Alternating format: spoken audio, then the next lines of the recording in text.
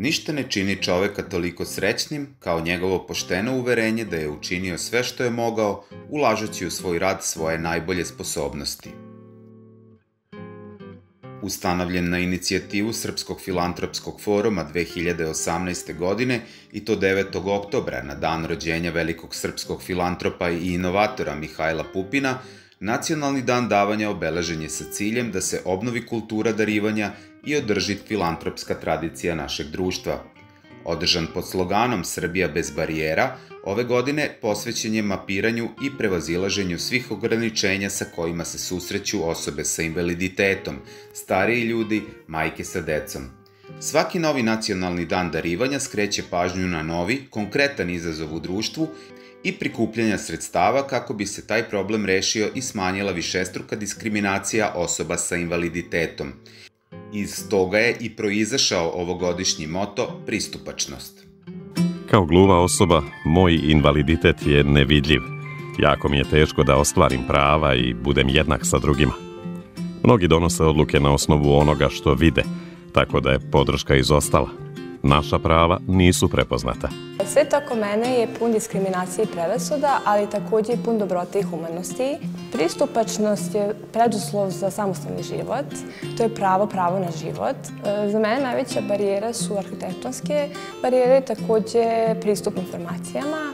E, zajedno sa porodičnim prijateljima ja uspevam da prevazićem barijere ispred sebe tako što nikad ne odustajem i borim se za svoje prava. Pristupačnost za mene označava izjednačene uslove za sve, tako i za osobe sa invaliditetom. Najveća barijera sa kojom se susrećem svakako je nedovoljna informisanost ljudi. Kako ću ja saopštiti vama svoje mišljenje, svoj stav, dati vam odgovor? Protok informacija mora biti dvostran. Gluve osobe su uskraćene za to da artikulišu govor kao čujuće osobe i ne mogu da čuju. Jedini način je da vi naučite srpski znakovni jezik i komunikacija će biti savršena. Oni koji znaju znakovni jezik imaju ključ za dušu gluvih. Svet bez barijera zamišljam kao slobodu i jednake mogućnosti. Jednakost, podizanje svesti, komunikacija. Zalažući se za podizanje svesti najšireg auditorijuma, akcenat je stavljen i na značenje reči pristupačnost, ne samo u fizičkom, već pre svega u komunikacijskom i informacionom smislu, kako bi se osobe sa invaliditetom tretirale kao ravnopravni građani Srbije. Posebna pažnja posvećena je pristupačnosti informacija u medijima. Ja mislim da ceo program javnih servisa u Srbiji mora biti pristupačan svima, znači i gluvima i slepima i a, onima koji slabo čuju i tako dalje. I to je nešto što mislim da, je, da mora da bude standard. Tu nije reč o tome da su to neki novi izdaci, neki novi troškovi.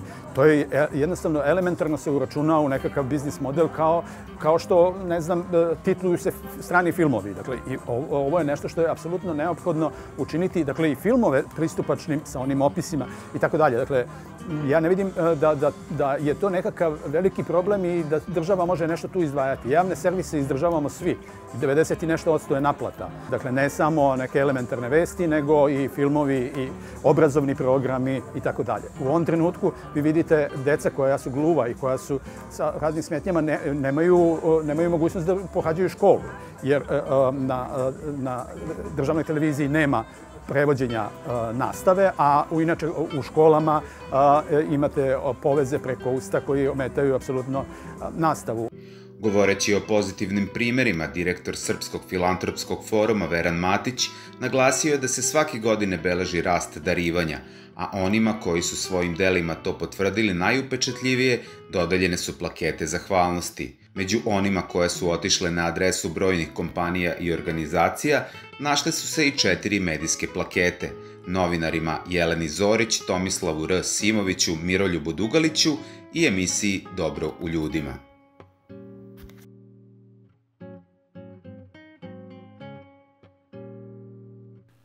Dobra dela ne smeju da prođu nezapaženo.